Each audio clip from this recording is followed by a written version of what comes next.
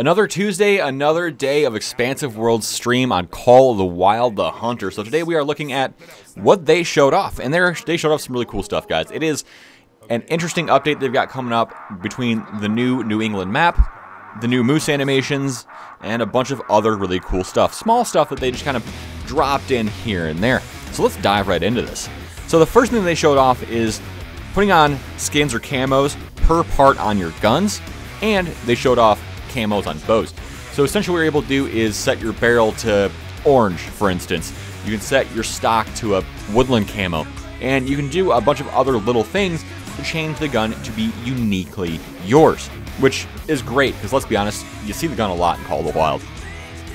Next up, we have the new harvest screen. Yeah, new harvest screen. For people that are content creators, this is absolutely massive. It makes thumbnails significantly easier to make. It makes it just way easier to deal with all of these things. Now, I know that's a little bit selfish of me, but the thing that you guys care about here is you can see the entire animal on here now. And, and not only that, but the redone moose looks phenomenal. It no longer looks like painted on fur. The fur kind of actually you can see it on there, and the things aren't clipping off the side of the screen. Also, there's a full body inspection view that you can use that just makes it way easier to see everything going on. Now, along with that comes new Moose, like I said, animations, uh, new Moose behavior, a bunch of little things that they tweaked to make the new Moose grind completely new and entertaining. Now, we also got a list of animals that will be moving to different reserves here. Unfortunately, there are some that didn't quite make the cut because of just, you know, technology issues, bandwidth issues, team time, things like that.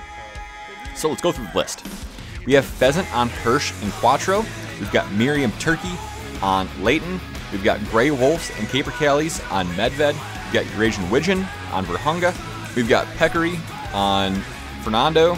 We've got Canadian Goose on Yukon Valley. Mallards are hitting Te Awaroa. We've got Pronghorn going to Rancho. And Green-winged Teal on Mississippi. Now, the last little note here that I want to make is they announced something that I'm actually extremely excited about.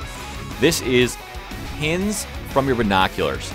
Yeah, so you don't have to go to your map anymore to put a pin on a spotted animal.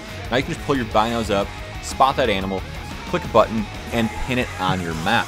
So if you do down a group of animals or an animal that you're having trouble finding, you can go ahead, spot it, click the button, and have that pin on your map so you can go right to it.